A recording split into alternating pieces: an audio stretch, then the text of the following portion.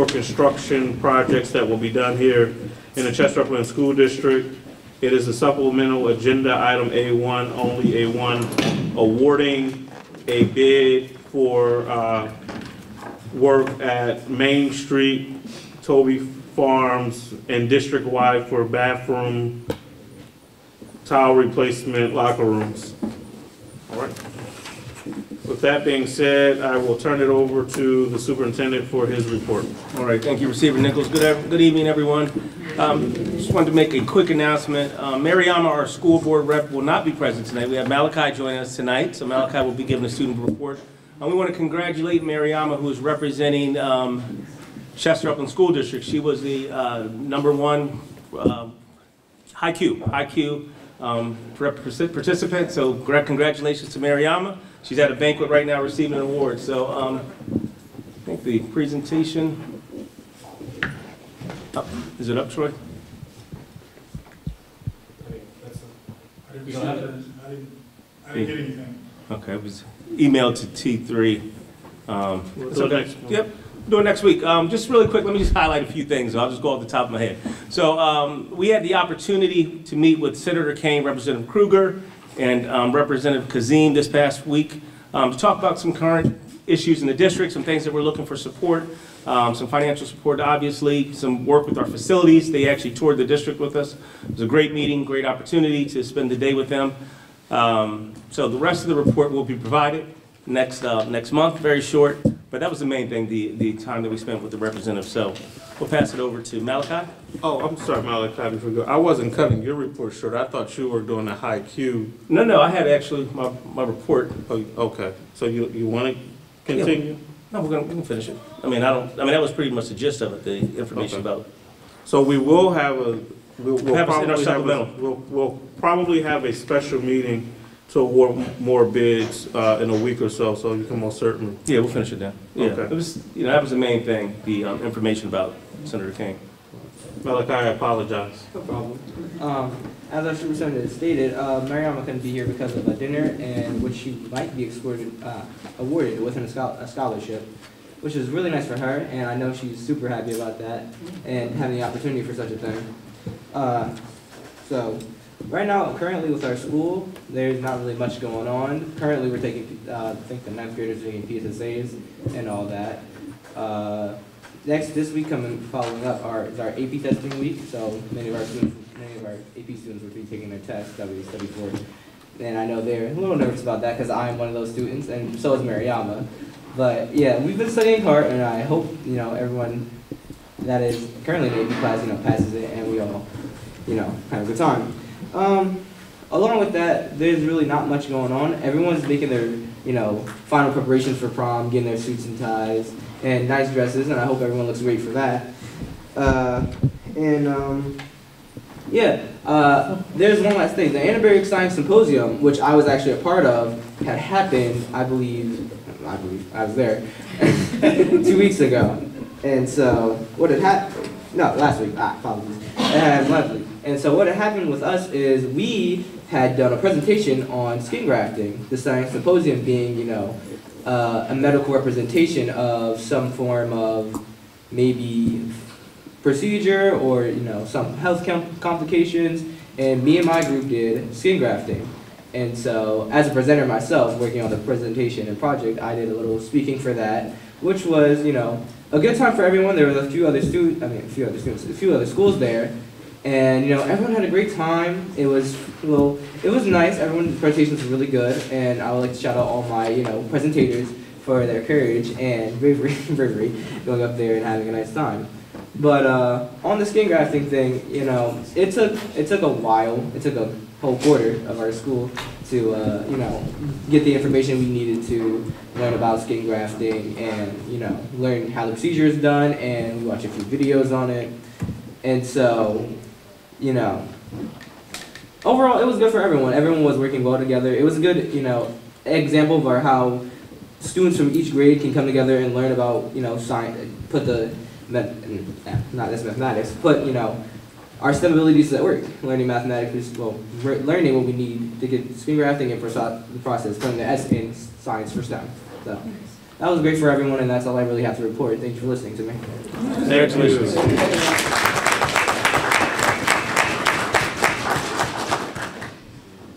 Right, we will now move on to our presentations. We have three presentations this evening.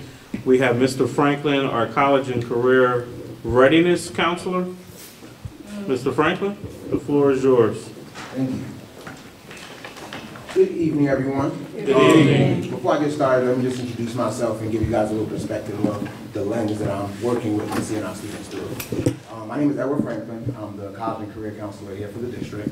Um, I'm originally from Brooklyn, New York, so in terms of my environment and background, it's very similar to what a lot of our students are engaging and dealing with as far as socioeconomic status and living in situations and things of that nature. Um, and my background is in higher education. So before working here at Chester Upland, I spent time working in the Baltimore City Public School District, as well as working at four different institutions of higher learning. Um, this is the thing that I'm most passionate about, so thank you guys for giving me an opportunity to come before you today. Um, the first thing that I wanted to touch on, as you guys might see on the screen, is some of the circumstances that we've inherited in terms of working with this 12th grade class. Um, I would refer to our students as part of the COVID class. Um, some of the images that you might see are our 12th grade students were the ones who had half of their ninth grade year taken away due to COVID. Um, many of them were, all of them were virtual for their entire 10th grade year. Um, and that transition from traditional learning to virtual learning was not the easiest. For them to try to then transition back into the classroom for their 11th grade year, and now we're expecting them to be ready to go on to college. Um, I believe that while some people might look at these students at, at risk, I prefer to look at them at promise. Um, I feel like, and I know you all feel the same way, that our students have the ability to do and go wherever it is that they would like to. Along with that, nationally, we also see that there's been a trend of teaching shortages. So a lot of our students are not receiving the adequate classroom time that they might need to in major subject areas, which is also a major factor in their college and career readiness.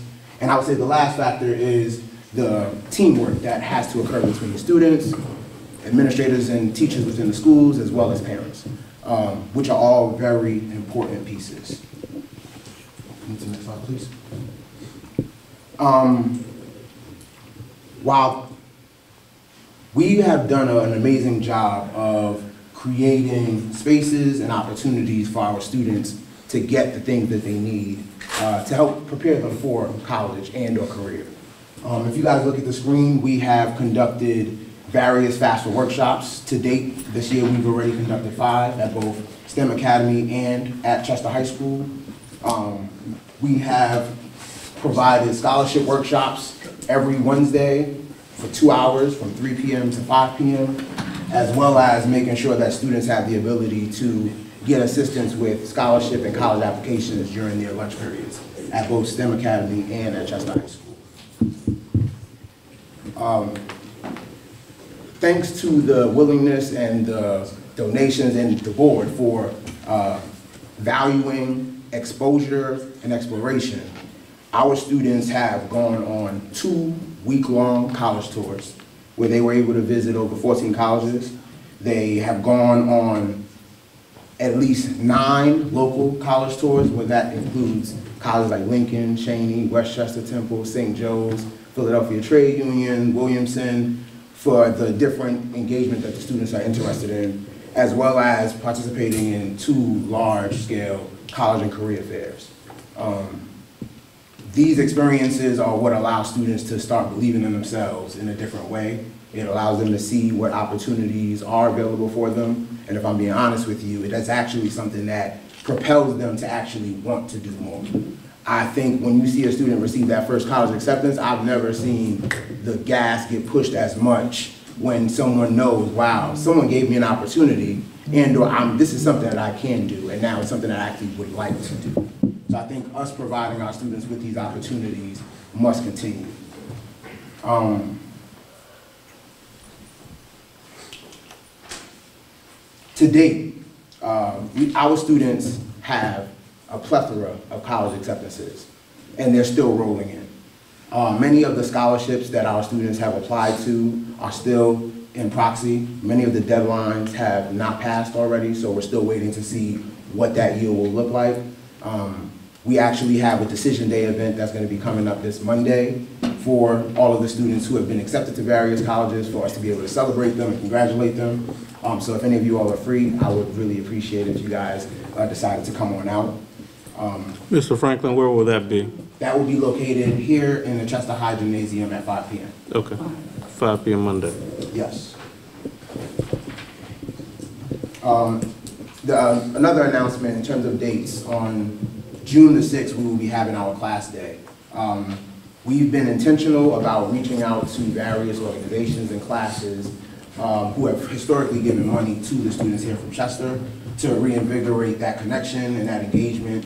Um, on social media, we've created videos enticing and asking them to give their time, their treasure, uh, to the students who've done the work and have shown the promise of wanting to further their education. And Mr. Frank, I'm sorry, sometimes I, I, it's a traditional class day, both schools together? Correct. Okay. Um, so overall, the main purpose for me being here today is to let you all know that we are doing the best that we can, and we are doing great work, and there still is a much more work to be done. Um, this is my first year here in the district, and I can honestly say I love the students. Uh, the relationships that we're building, it's a, it's a true example of what believing in one another can do. Because in the same way how we're believing in the students, they're believing in us and hoping that we're advocating and we're providing them with the things that they need in order to move to the next level. And I think we've all done that. So thank you guys for the opportunity to be able to give you all some updates on some of the things that the Chester Upland School District is doing for our students around college career readiness. As we come closer to the end of the year, I hope to have much more great information to share with you all about what we've done. That was, that was my, Mr. Franklin, I just was gonna say, I may invite you back next month. Uh, I would like a sneak peek before class day to see exactly that dollar amount, number of, you know, college accept- acceptances and, uh, uh, yes, the dollar amount of the scholarships, the, the number of colleges, students and all that good stuff. And class day, I'll be dressed up. It's my birthday, so I'll be there. Next time you have a present for you. I'll, I'll give you guys a, a scholarship. Hey, thank you. All right, next we have Mr. Brown, principal of Chester High School. Thank you.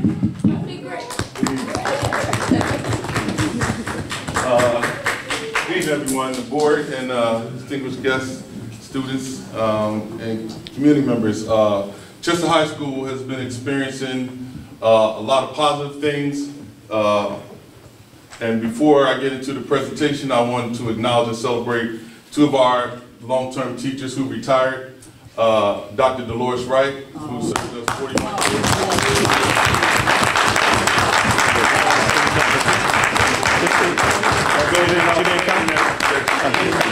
Uh, Her presence is significant, not only to the community, but to the school district.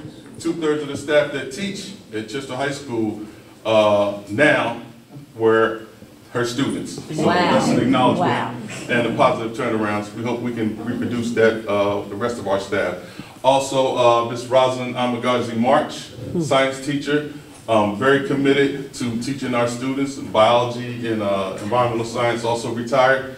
Uh, Yo, again, Let's clap for her. acknowledgement for her commitment to our students and what she's done. This evening, I have company with me, uh, three of our students who will uh, give you some insight to some of the activities and um, positive things that's going on in Chester High School. Next slide, please.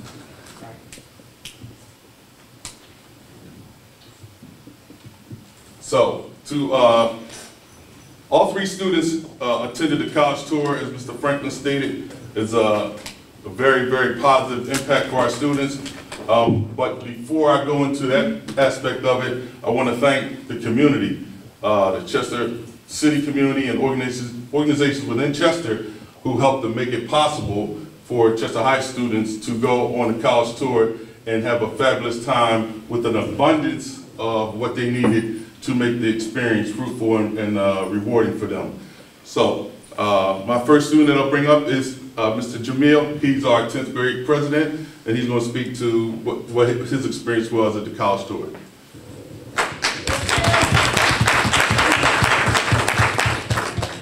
Good evening, everyone. Good evening. My name is Jamil Gathers. I'm the great president, and uh, as a 10th grader, probably saying, why is he going on a college tour? But I wanted to go to experience what it's like to be a college student. Like, I wanted to go to get a grab the information. I know I, I can't uh, apply to college to talk my, in my 11th grade year, but I wanted to experience how it was. Um, our first stop was uh, uh, Virginia State. Um, it was cold, but a fun time. Honestly, it was a fun time. Um, yeah, it uh, it was a fun time. It was a great time. We had a lot of fun, lots of laughter. Definitely, definitely would do it again, all over again. Um, yeah. Um, Thirty-six acceptance.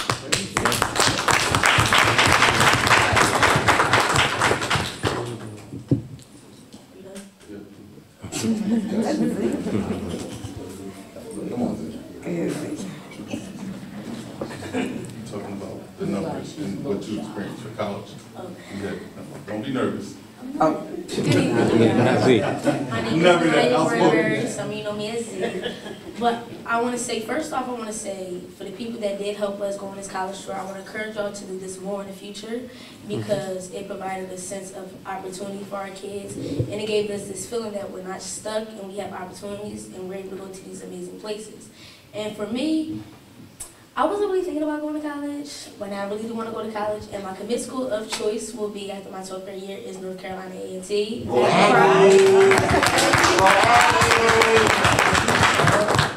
I just want to say that it was fun building, getting to see, travel the world, especially with these guys.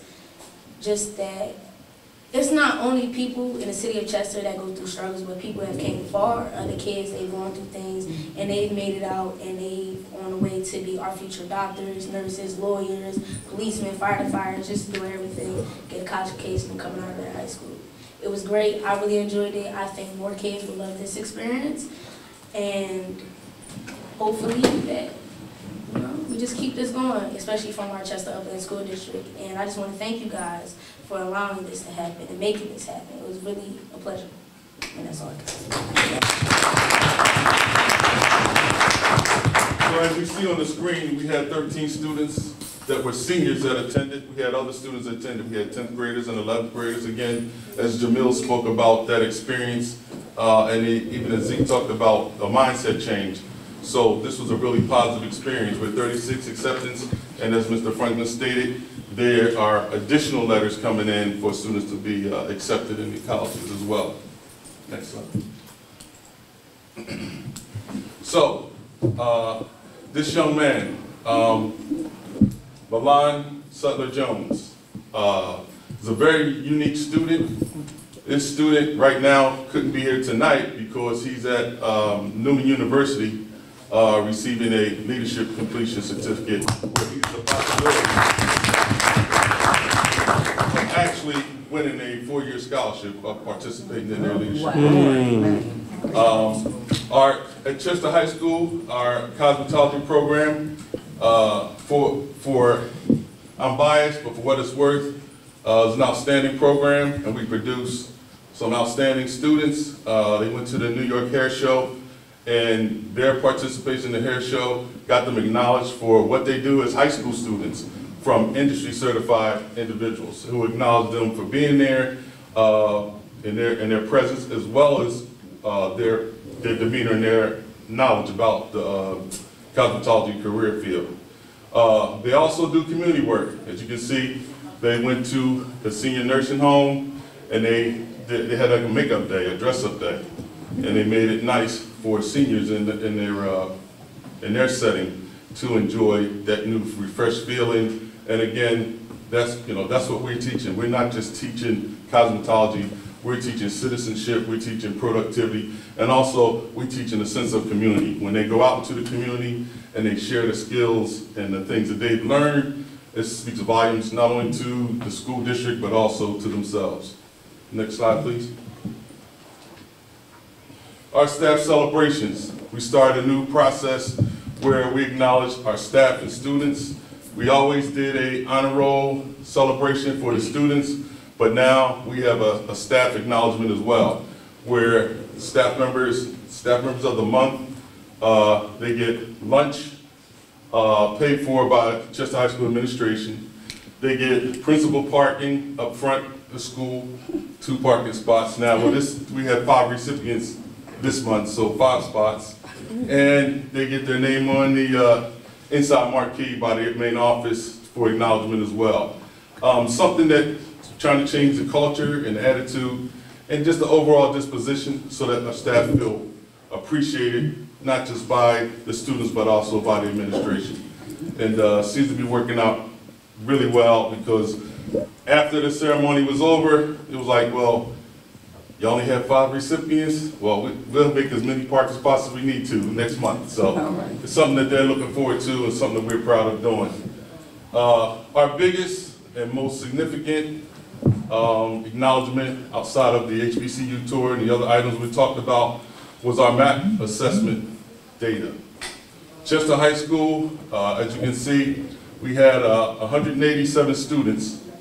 Out of the 277 students, showed growth. And what that represents, we have some students who are still in the red zone, some still in the yellow, and some who have advanced.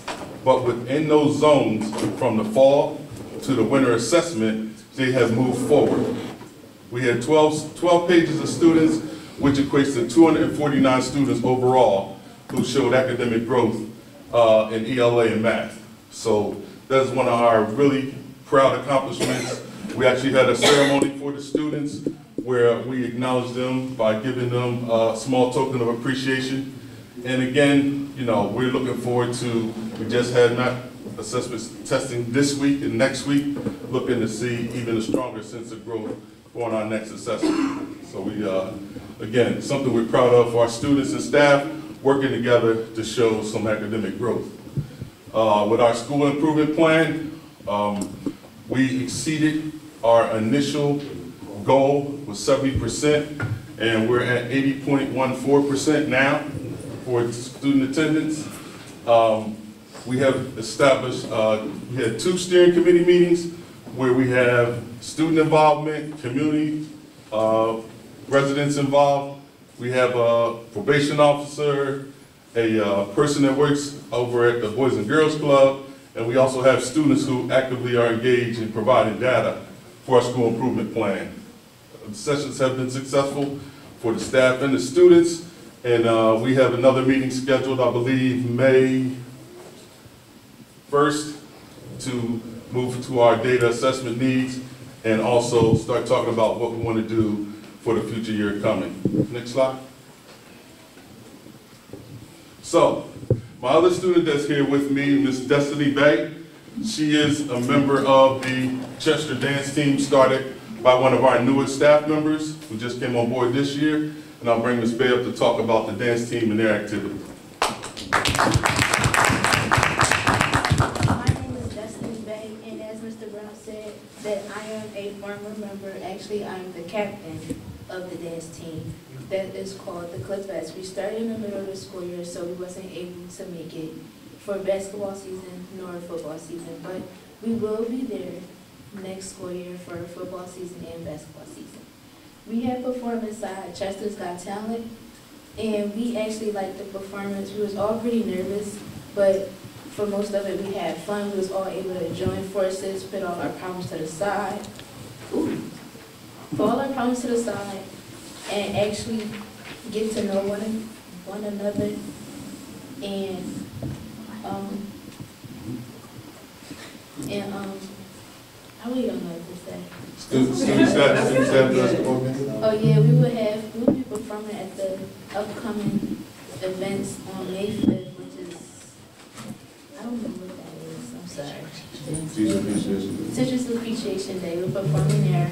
We'll also be performing at the end of the school year celebration, I believe, I'm sorry. And it's one other performance, we wasn't told what it was, but we do have three upcoming performances that we are getting ready for. And I would like to just say thank you for letting us get the dance team together because this is something that a lot of students wanted. So, thank you. Thank you.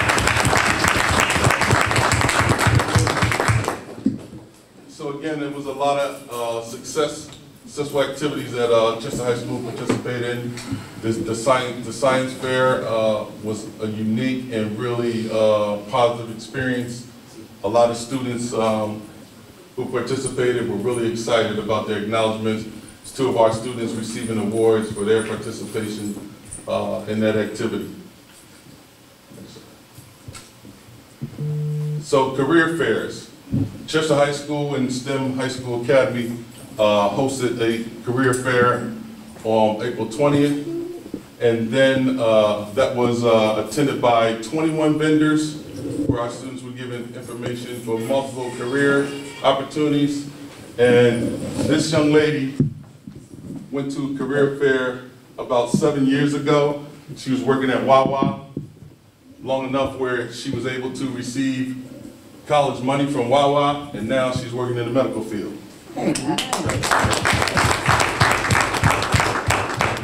Uh, Positive activities to build bond and and relationships with our student and staff. Uh, Coach Dante Bell, our athletic director, helped put on a student staff basketball game, was attended by a lot of students. Students got a chance to have fun. The, uh, the staff, even more fun, because they believe they won. Uh, You know, with the help of some That was a typo.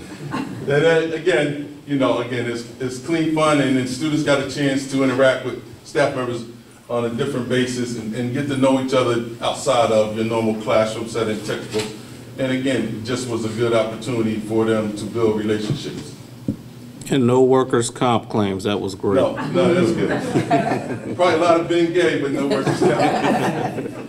Uh, Something that we're also excited about that we've been doing that's uh, really a positive impact for our marketing students is they perform our weekly uh, telecast. Every Friday, uh, we have students that work with T3 and their staff to put on a telecast for, um, for the school district and just let them know what activities are going on throughout the week and uh, some positive things. Uh, This is our giveaway closet, donations from community folks and organizations to help dress our students so they can go to the prom and feel good about themselves and look well. We also had a skating event that was, again, student-driven, staff-sponsored. Uh, Students, again, had another opportunity to enjoy some activities outside of the daily routine of school. We also have the Clipper Closet, where items are being donated in support of the students, from health and beauty aids, the hygiene products. As you can see, first aid kits, students maintain it, and again, it's something really positive for our students to have within the high school. So if they, you know, just put in a request, they can go there and receive those items. Um, Thursday, uh, we have the, the anti-violence, which is tonight, that's why we wanted to put to do our presentation early. To go, uh, we have 19 students that's attending the anti-violence summit that's put on by the local labor union. We also have partnered with the local labor union, and they will be providing our student with OSHA 10 certification, uh, May 2nd and 3rd. They will be going to the facility to be trained. Um, Our Young Explorers Program, uh, with the support of Ms. Jackie Goldstein and and, uh, Mr. Laws. We have 12 students there that permanently, permanently are recruited in that program as well, and they attend that regularly. Again, we receive uh, accreditation for being in the Fire Explorers Program. So again, we have a lot of activity, a lot of positive things going on, and uh, most importantly is the big event of the year is our fashion show.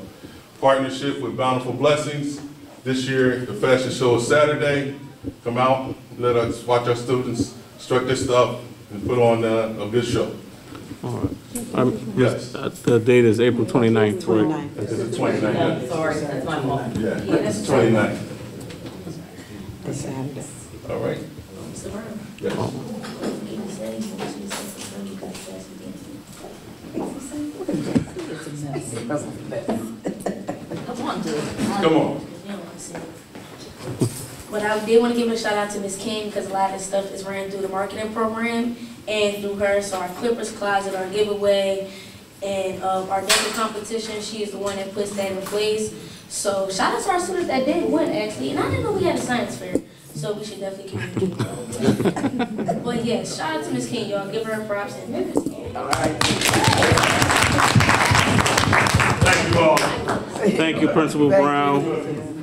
All right, now we will have our Career and Technical uh, Education Director, Dr. Thompson.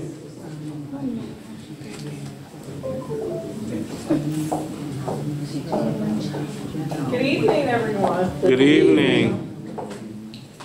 The most exciting time. We're going to talk more about CTE and our students and what they're doing. But first, I'm going to show you a quick two-minute video on what is CTE. A lot of people ask that. Everyone wants kids to be ready to take on the real world, right? So what's the secret? Say hello to CTE. CTE is Career Technical Education. You've never heard of it, but CTE gives learners an academic foundation along with technical skills and hands-on experience in a whole bunch of different areas to help them get ready for the real world. Think of CTE as a high school experience, but with even more value because it fills a big gap for a lot of students. In fact, CTE learners and their parents are three times as likely to say they're very satisfied with the ability to learn real-world skills as part of their education as compared to non-CTE learners and their parents. Over 75% of CTE learners enroll in post-secondary education after high school, CTE is definitely creating a path to college and career success. And get this, they have a graduation rate over 10% higher than non-CTE students. Did you know 89% of parents think students should receive more education about career choices while in high school? That's where CTE comes in. Think about it. Is it better to experiment with career choices when you're paying money to do so in college? Or should it happen in high school so students know a lot earlier whether a career option is the right fit? The answer is fairly obvious, don't you think? Now let's talk about why CTE is good for business and industry. It's pretty simple. Companies want skilled employees, and they're having a hard time finding them, which can cost the company money in lost productivity. Enter CTE. Six of the ten hardest to fill positions are in technical fields or require a CTE background. In fact, about half of all CTE learners are enrolled in programs in leading fields such as healthcare, STEM, and information technology, matching employer needs with student passions. CTE programs directly connect learners in high school and post-secondary with employers through internships, apprenticeships, and other meaningful on-the-job experiences. When it comes to CTE, more than twice as many CTE parents report being satisfied with internship opportunities. That means a lot of doors are being opened for kids. So here's the bottom line. Parents want their kids to find a career they can be passionate about. Kids want the same thing. And when you think about the real world, what could be better than having learners enter a field they know is right for them with a ton of hands-on experience? It's all possible thanks to CTE. So I want to talk about the CTE programs that we currently have in the district. So we have four at Chester High School, automotive, culinary arts, cosmetology, and marketing. At STEM, we have engineering and communications technology. What we're looking to add, made an application to the state to offer agriculture and a K through 12 teachers academy starting next year. We already offer computer IT and criminal justice at the high school. It just isn't under the umbrella of CTE, so we're actually going to apply for them to be part of CTE. So we would actually have an offering of 10, 10 CTE courses. Starting next year, this is new, we're gonna offer ninth graders career exploration. So they will have an opportunity to choose each marking period, one of these career paths, so they can get a chance to experience it, to see if it's something that they're interested in. So we're looking to grow our CTE programs. By the time they hit 10th grade, they'll know which one of these pathways they want to take.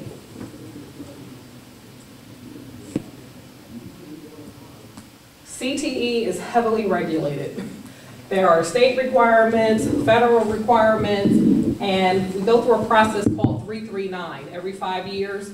So we're not up next year, we get to prepare next year, but the following year, we're going to be under review. So they're gonna come in and they're gonna check to make sure that we have an occupational advisory committee. That's people that are in the community, in the field, that work in all of the different pathways, that are supporting our programs, letting our teachers know what's happening in the industry, what needs to change, what they need to update in curriculum, and they're working directly with us. We actually had a banquet for them last night to just thank them for their support, so we're really excited about that. Perkins, obviously, we know we get grants from the federal government. Money has to be spent by the deadline, and it has to be spent on what they said we can purchase. Student organizations. We, every single pathway has a student organization. It's a requirement. We actually get tick marks off, points off, when we don't have students participating. So we have to make sure that all of our students are signed up, that they're going to the workshops, that they're participating, because we do get points taken off for not participating. And finally, NOCTI. We have certification exams for every single pathway. What does this do? It says to the employer that I've been in a CTE program for three years, following a task grid, learning all these specific things that I need to make me employable. And when I take this NOCTI, it says to the employer, this candidate is qualified. They know what they're doing. They get a certification. And so that's very important. We take the NOCTIs in both the fall and in the spring. Next up, our community partners. We have lots of community partners. All of them aren't listed here, but I did want to highlight Delcora and CMP. We actually have communications technology students and marketing students that are doing co-ops right now. They've been doing a co-op every Tuesday for the past couple of months. They'll be wrapping up soon. Um, and it's really exciting because they're producing content, they're in the workplace demonstrating their skills. We also have engineering students that are working uh, with Delcora and CMP, and then obviously we have our automotive students working at Jiffy Lube, uh, GMC, and AutoZone, so it's really exciting that our partners are helping us prepare our students for that workplace. Other highlights, we have an engineering student that is guaranteed a job at MakerBot, making $50,000 as soon as he walks across the stage. Engineering, right out of high school, 50K guaranteed. We have seven more students that are in the Delaware Community College program. They're in the two-year electromechanical program. Those students too are going to be making that kind of money when they finish with uh, community college. So that's really exciting. That's unheard of. 50K right out of high school engineering student. So he'll be able to help pay to further his career, right? He'll be able to use his money to uh, continue his studies at college.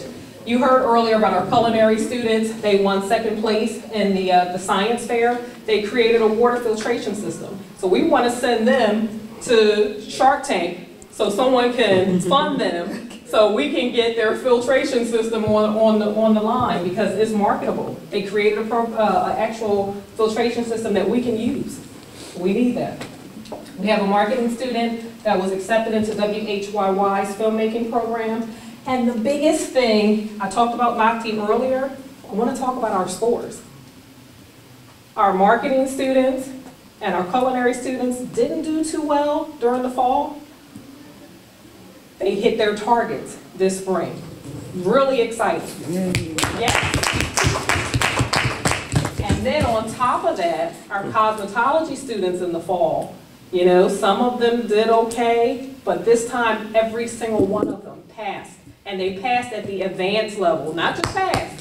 They passed at the advanced level, so I'm really excited about that. They will, they're actually gonna be applying to the state uh, next week for their certifications for cosmetology.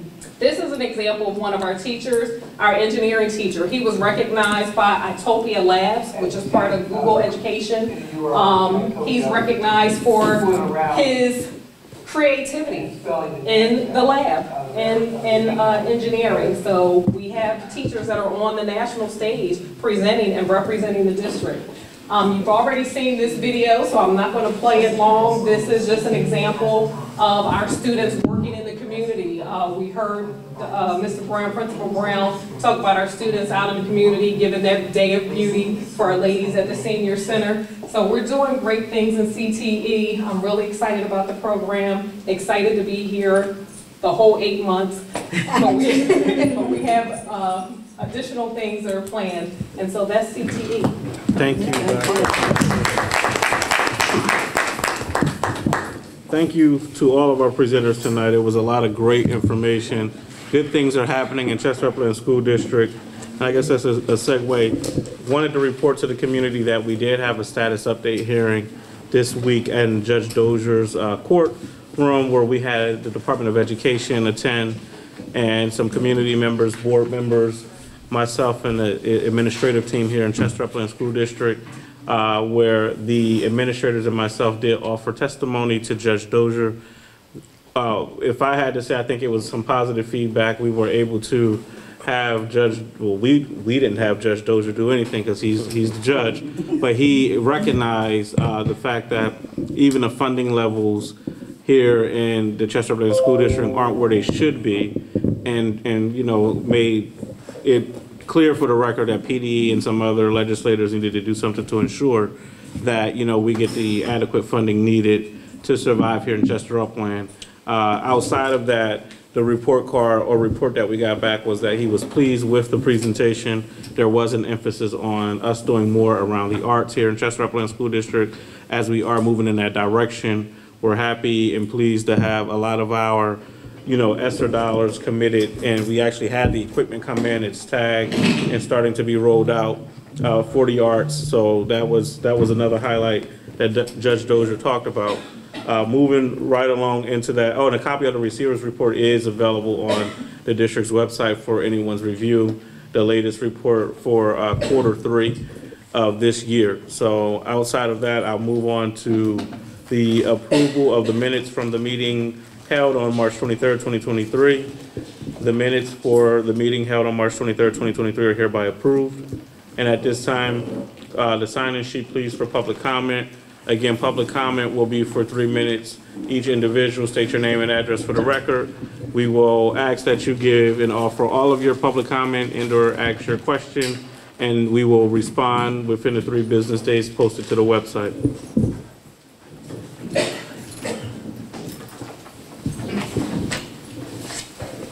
Thank you. Uh, Ms. Deneen Mosley, folio number 4911017030.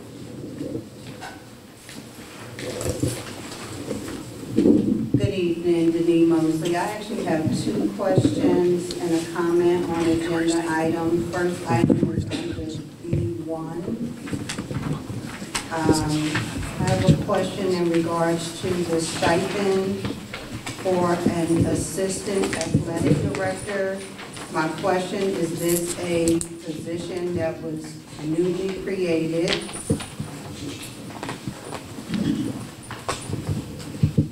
And my statement is, if it is a position that was newly created, um, I thought that we were looking to kind of cut costs by streamlining, and we already have a full-time athletic director that is a full-time position that was elevated higher than any athletic director that I've ever seen in this district. And I'm really questioning why we are adding an assistant athletic director when the athletic director is already earning a six-figure salary. That is my first concern. Um, my second concern, because I only have three minutes, is under, uh, item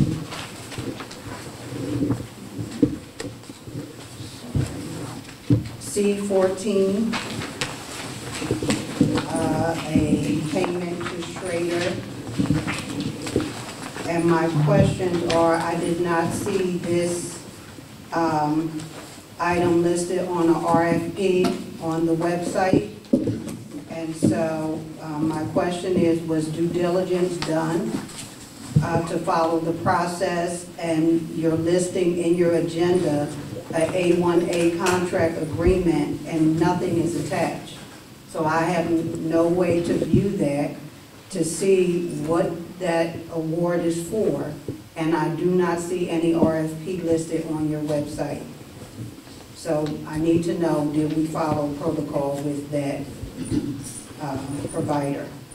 Okay. Those are my two questions on the agenda items. So for you athletic director. Yeah, the assistant athletic director has been a position that's been, It's not a position, it's just a stipend. a stipend, not thanking. Professional contract, so it's something that the schools determine.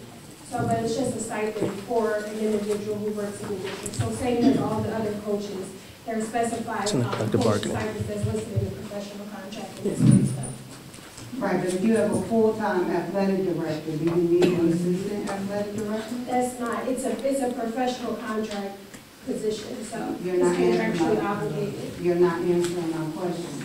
If we have somebody that's being paid a full-time salary to be the athletic director, do we need an assistant athletic director? And you do, Ms. Mosley. The assistant athletic director primarily works for the middle school. They support the middle school sports, where the athletic director traditionally supports the high school sports. So, You're speaking to somebody that went to school here and know the people that serve as the athletic director, as a part-time position, and they did it for the entire. stipend position, yes. So, okay, so Mhm. I'm really asking us, is that needed?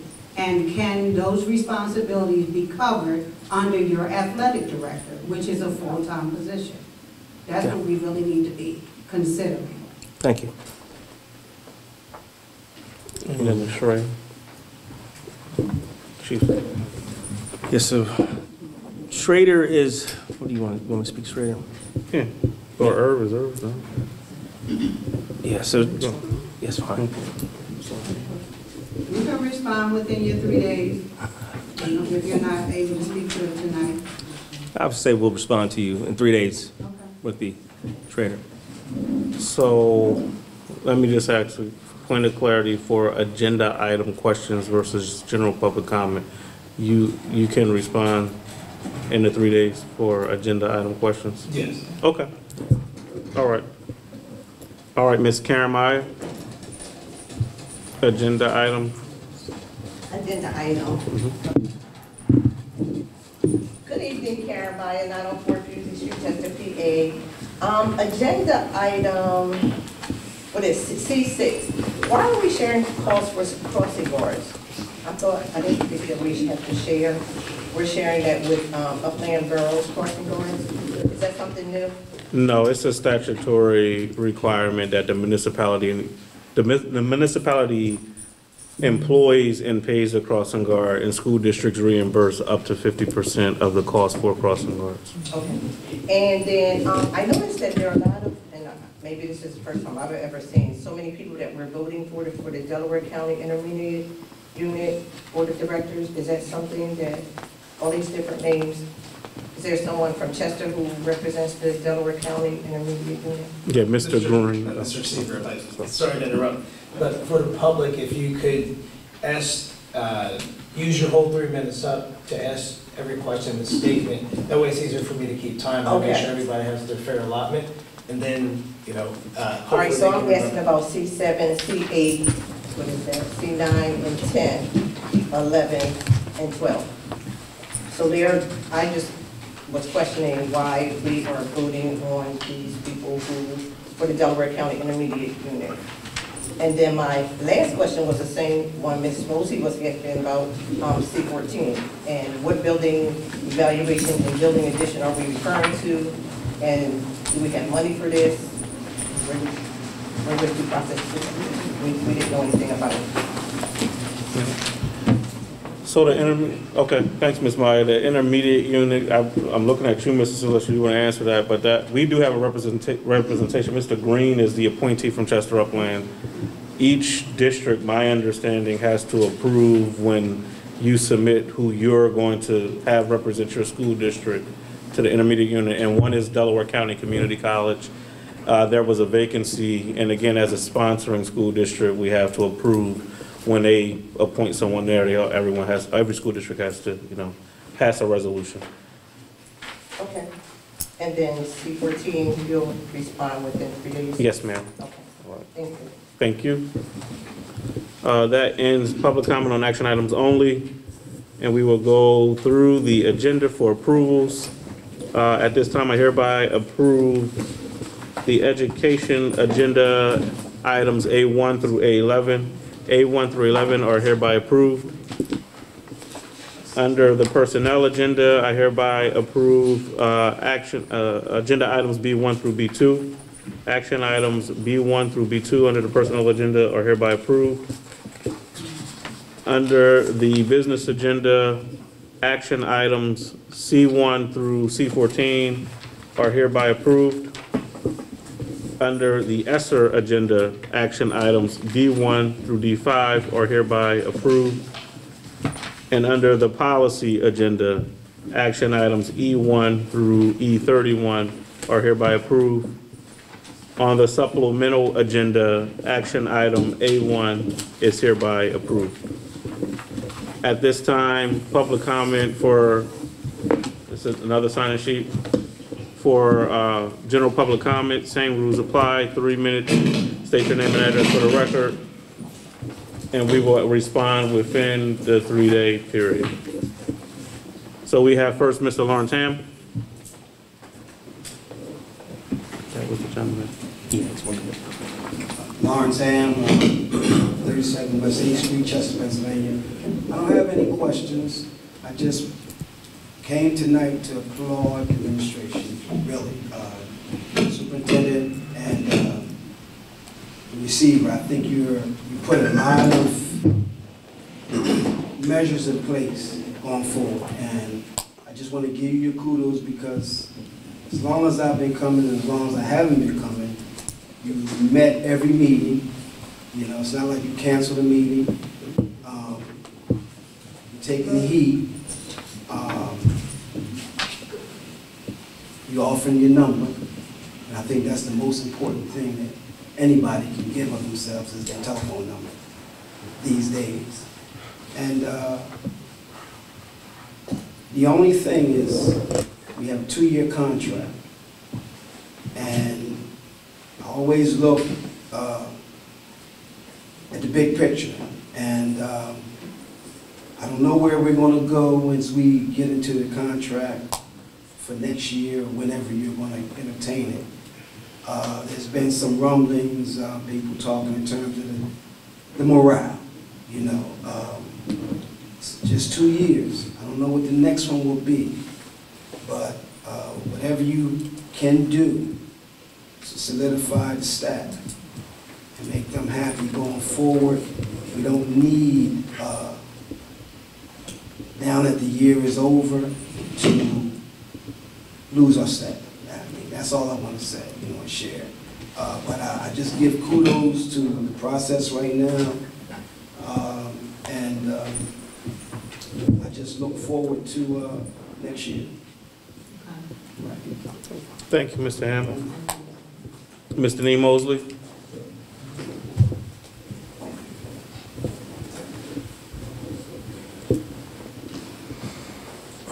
Thank you, Denise Mosley. I asked this prior at another meeting, but now that we're recording, I wanted to re-ask it. Do we have an estimate of the number of seniors to graduate in 2023 and that are not on target to graduate? What is our plan of recovery for those students? Um, I asked this at the last meeting I attended. We, I was told that all staff uh, will receive some type of evaluation. I would like an update on where we are with that, if every staff person is being evaluated.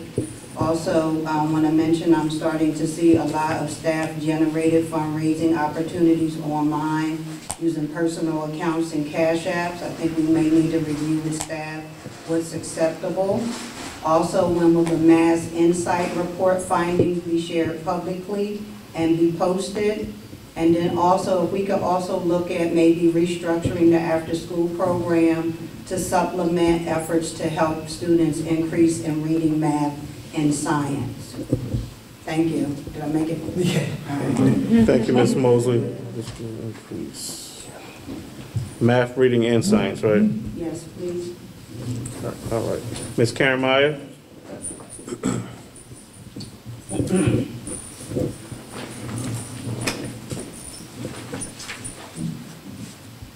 Ready? Um, are they in the comms at Chester High School working? And if not, is there a plan in place for an emergency? Are we putting back emotional and supplemental classes that were originally in place? Are we hiring a new transitional coordinator for the next school year? Because I see that we're trying to hire one for the summer. Um, Are we hiring a secondary ed supervisor for high schools? Um, Was the board aware of a posting for a principal at Chester High School? And why is the school district human resources not being, doing a search if we need a principal? And why was the community not notified? Um, It is important that our counselors and teachers encourage our students to apply for scholarships. I think that we are in the same position that we were in last year. Um, I don't see it being done like it should be. And we still don't have enough janitors and security. That's it for me. Thank you, Ms. Meyer.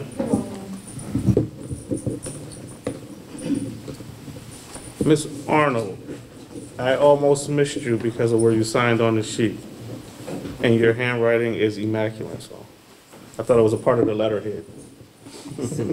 No, really, look at it. It looks, I started studying calligraphy when I was in high school and was able to take a class as an adult.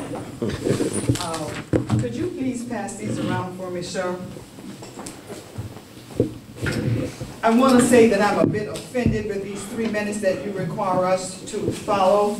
It seems as if you do a better job at holding us to three minutes than we're able to hold you accountable for what your work is, uh, representing the district and the education of our children. So I want you to know that I'm a bit offended, and I don't get offended often about the three-minute rule. So I'm going to try to hold to that, but um, I want you to know going in, my concerns about the rule. I think it's controlling in, in some cases, and it avoids the transparency that we need for the district.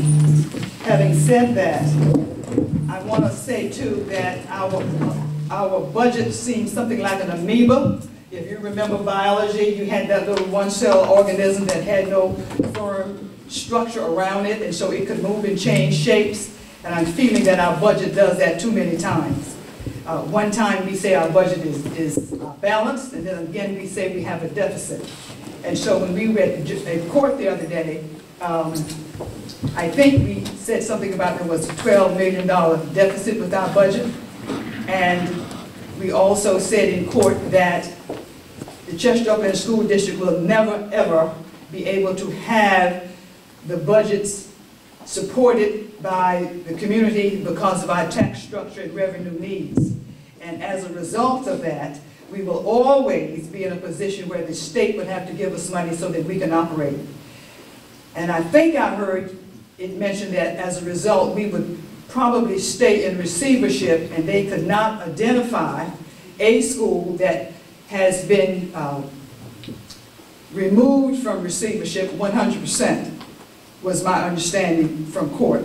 And so I think that in the heart of being transparent, we need to say more to the public about what happened when we were in court in that regard. Um, The ESSA budget, I think we could use some details still on how we are spending the money for the three years. I have in front of me the document that was posted, and it did give the three years. We knew the three years before we asked the question. The question that we needed answers for were more details about what had been spent those three years, that we were allotted funds, and what is left. That has not been made available to the public, and if you tell me that it's on the website, uh, it is not so easily found, and I've seen some numbers, some pages, but they're not so easily read. And I do read fairly well, and I do well sometimes with arithmetic. So I um, don't think I need a CPA to understand my question. Is that, that's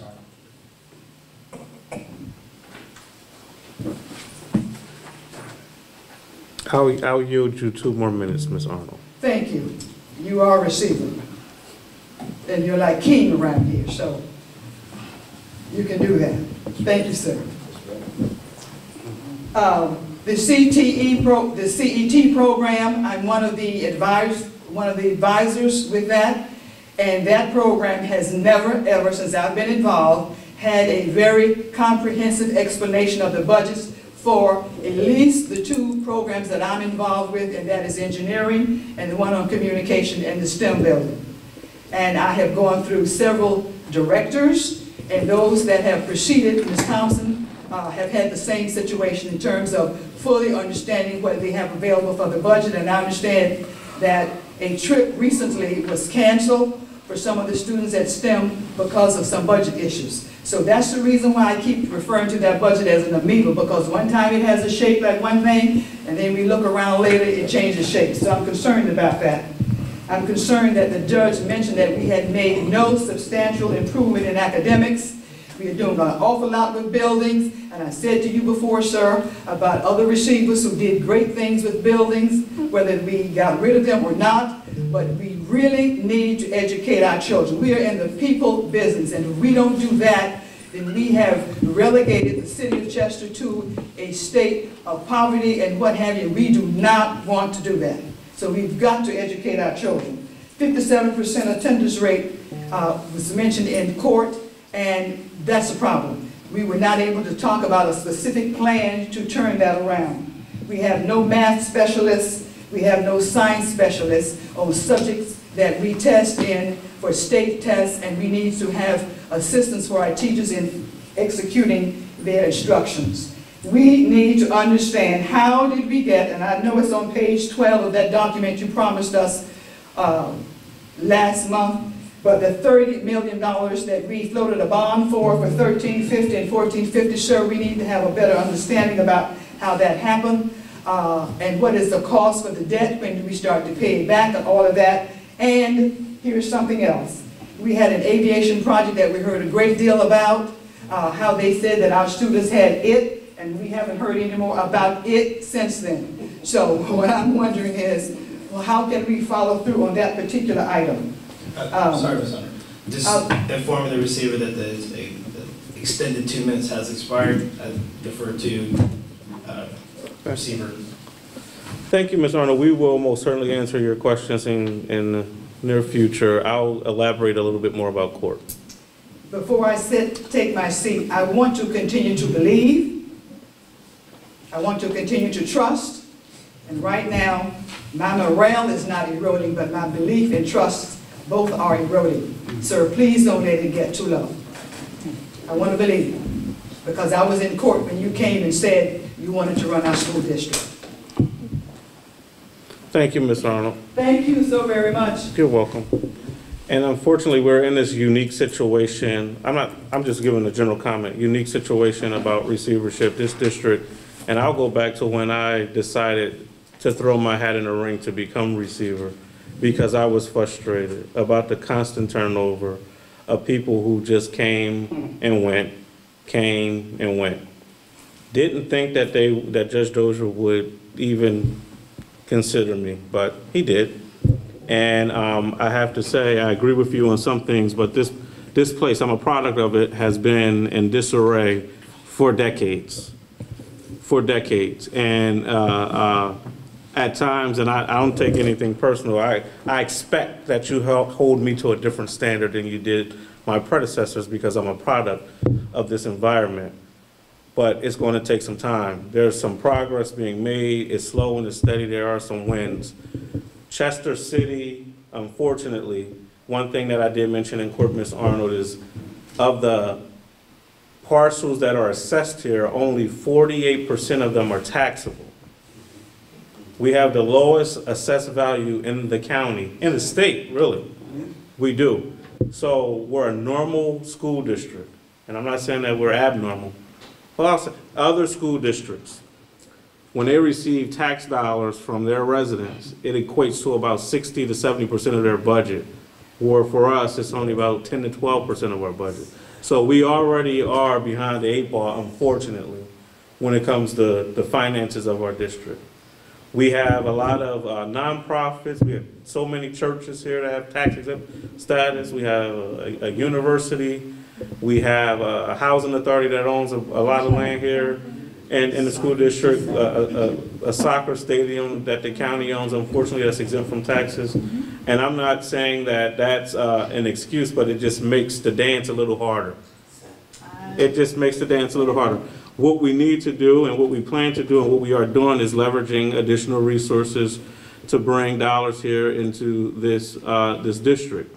Unfortunately, again, uh, I'm just, just talking, re-engaging uh, uh, partners for Chester Upland School District. There were a lot of trust issues. Ms. Arnold is right. We talked about that in reports and in court and everything else. I won't name anchor institutions, but there were people that would not talk to Chester Upland, but now they're talking. And they're providing things, and it's gonna take time. We're still building trust. I'll even say for the record, PDE, I know you watch this all the time, but PDE said out of their own mouths that this is the first time that they've seen, uh, or, or the trust has been built and gained, and, and we're moving in the right direction, and they're providing some more resources, but again, it's slow and it's steady, you know? Would I like more resources from PDE? Absolutely, financial I'm talking. But I guess they, they have to trust me, they have to trust the process, they have to trust the administration, and we're getting there. The Mass Insight Report is close to uh, conclusion, that will be concluded in May. It will be readily accessible for the community in May. PDE paid for it, they were initially not going to pay for it, but now they decided that they would. They're in the process of uh, coordinating a financial team uh, with another organization that they're going to pay for so that we can move on to the next process of doing a, a amended recovery plan that will be detailed and it will be the roadmap to success. They also said that in court. They named two other school districts that they, the status moved. They didn't move out of receivership, but their status moved closer out of receivership. And they talked about that recovery plan that was a roadmap to success that was followed, you know, day in and day out, had the deliverables in them. The recovery plan that was here when I got here, and I said it in the courtroom, it was baloney. It didn't have any teeth. It was, the finance section was literally 20 pages. That should just be what we talk about with, with teacher contracts, th- those 20 pages. So, so it's brain surgery. We, we, in- we in critical condition. We're bleeding out. We're doing everything, but we're trying to do what we can do to bring this thing back to life. Uh, our, I'm here for the children. I think everyone at this table, even you, I applaud, you know, you, Miss Arnold, Miss Mosley, uh, Mr. Ham, Miss Meyer. You, you're the constants that come here and, and you get it. You know, you, you'll be here when I'm not here, I'm sure. That's true. You will be here when I'm not here. So I, I, I get that. Um, but I'm not going too far because I'm always going to be around, trust and believe. And we know where you live. Yes, absolutely. And, uh, and somebody said something about the phone, it never stops ringing. You know, it's ringing now. But, but the point I want to make is, in court, yes, there were things stated about the finances. And we, when, when you, when you play with numbers all day, and, and young Miss Mosley will tell you, you always say, as of this date. Because as of that date, we could have had twenty million dollars in the bank because of the circumstances and situations at that time. But as you move on and things happen, things happen. We've had so many unforeseen situations pop up. I sat in this room, I've said to the public, it's on, on a record, it's in a report. I was in this room and I got a call from upstairs. They said, the federal government is here and they need to talk to someone. It was the IRS because the district did not pay an old IRS bill from six years ago. That's, that six figures. It wasn't in this budget. It wasn't in a projection or anything, but it was some, it's the IRS. We have to pay it. We had a state obligation, six figures from something four years ago. Uh, a vendor, and I can go on and on, and I'm not, again, making excuses, but I'm talking about the reality of what Chester Upland faced, and this is sad and it's disheartening, it really is, because so many people have taken advantage of us, they really have. And we're trying what we can try to, to remedy the situation. I'm working with the receiver in the city to talk about how we talk about economic development, because we need economic development to strengthen the tax base, we just do. Uh, there, there's, there's a lot, I can go on and on, but this new recovery plan will be much more detailed than you've ever seen before. I can assure you that, Ms. Arnold. Well, well, everyone, uh, I know I'm not just talking to Ms. Arnold, but I can assure you that, that it will be much more detailed, it will be a roadmap to success. I do not, I'll say it for, the- I don't, I don't plan on being here long. I, I think I have two years and a month left for the appointment. If they have me that long, I'll stay that long. But after that, I don't think I'll be here that long. I, I really don't. I can't stroke out. I, I won't stroke out. And it, it's not that I'm giving up on it, but I could be using a different capacity is what I'll say. If the good Lord says that I need to stick around, I'll stay around because I follow his word and his will. But transparency, yes, we will, we're trying our hardest to do the best we can. Town hall meetings, let's get some more on the books. We can do that. We can answer questions. We have an open door policy. People come in all day, every day. We talk to those individuals. I know some people say, well, they want to do it here on the camera. We record the meetings that we have. Walk-in Wednesdays, you have them. Troy, go in there walking Wednesdays so the cameras can see what the people are asking and they can kind of know what's what. I, I don't know what it is. But some people also, I feel like they need to do a little bit more and care a little bit more like you. I really do. Because the things that they call me about sometimes, I'm thinking we have a deficit here. Our children can't read. They don't know math. And you're calling me about this mundane thing. That's insane to me. So we need more people like you all that care to help us do what we need to do. And, and, and that's all, because I'm, I just went off a little bit. Well, before we, before we applaud, It- sir. No, I don't, I don't, I don't want an applause. No, no, no. We have something called law, uh, um, youth court. We know youth court brings a change with our students and the good works. It is incomprehensible that we have not established youth court in this district yet. We have teachers upstairs, we have teachers at other places. We have our own folks who are getting results, and we have not expanded on that low-hanging fruit. We know how to teach children how to read. We have teachers who do great work with mathematics. And why we don't multiply what these people do right here on our own walls without calling in another consultant is beyond me. And what I'm saying, sir, if they gave us $10 million tomorrow, if we don't learn and do more about teaching our children to read, that $10 million will be a waste. So while we say globally resources, we need to look with detail with the talent that we have and use that. And I am terribly upset that we continue to not use the talent that we have to develop our children 100% and all of their intelligences. There's no excuse for that. We, I don't think our money problem is really our problem. It's a this problem and a this problem. Uh, Mr. Receiver, I- can I address the, the, um, the time limit? Oh, that sheet you You have most is the, certainly- hold, it, hold, oh, no, stop. Um, The organizational chart on our website is what you have there, and I've highlighted some things that I think we need to change. Madam Receiver, Yes. I just wanted to address the, the time limit, uh, because the suggestion was made that this, we have time limits to, uh, for control.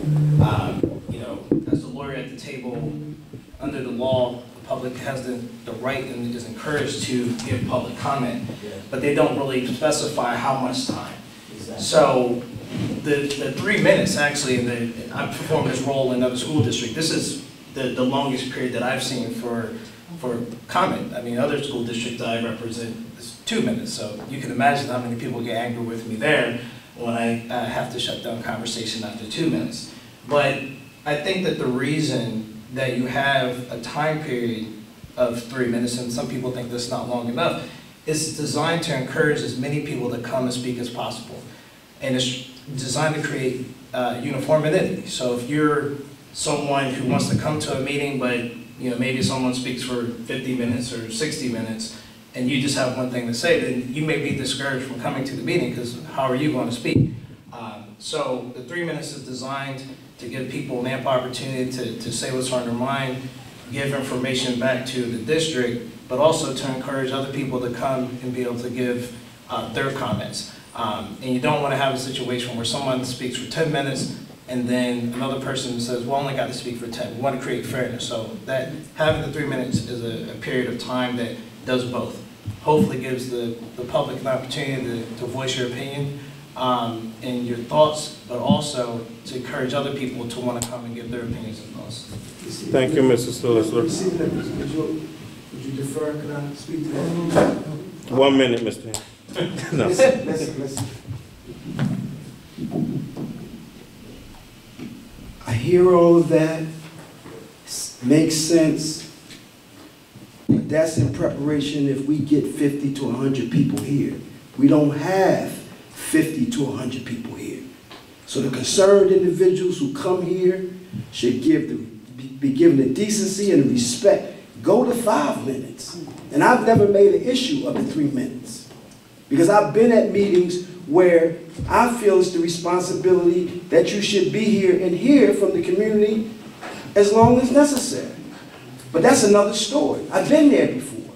So you gotta look at the situation for what it is. And I'm, I'm a, I play by the rules and I play by the game. But I'm just saying, you gotta look at your community that you're serving.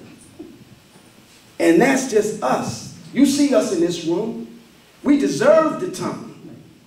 We deserve more than three minutes. But I'm not making an issue. I'm speaking into it because I'm responding to your statement. That doesn't happen here. You're not getting 100 people here. So three minutes can be changed to five minutes. It's at your discretion. We're talking discretion here. We're talking transparency. And I'm just saying, I never, in all honesty, I never came to you at the three minutes and all that. But I'm just coming because this community have just the few speaking for the many. You got to listen to us, that's the few. You got to give us our time. And I'm just asking that, to consider that. And we'll sit, and if you say no, okay. But this community that comes out, we deserve more than three minutes to speak, more than three minutes of your time to express what we feel. That's from my heart of hearts. Thank But I'll sit down and I accept it, and I'll do it within decency and order in three minutes. But know the community you serve. Thank you, Ms. Hammond, I appreciate it. And I'm not going tick for tack, I'm gonna say this, and, um, all of y'all know me, I'm just gonna say it. Anything emerging, I don't want you to wait once a month to come to stand in front of me to say what's going on. That's right. I don't want that. Like you said, or somebody said, you have my phone number, you know where I am, most of you meet with me, you come in my office, you meet with the superintendent. Don't use this as a platform to grandstand. What I'm saying, if it's a, I was about to go somewhere else, but if it's emergent, come, talk, you know you can get any of us, and we can get it done. Because some things can't linger to next month. You know, low hanging fruit, we can get some things done in between. Not pointing nobody out. I met with, with two people in this room just this week, and we accomplished a lot. In the forty-five minutes that I had for you, because it's a lot of back and forth, I can't give you forty-five minutes here. But when we met one-on-one, we got a lot accomplished, me and those two individuals, a whole lot. So I, just saying that, peace and blessings. Thank you.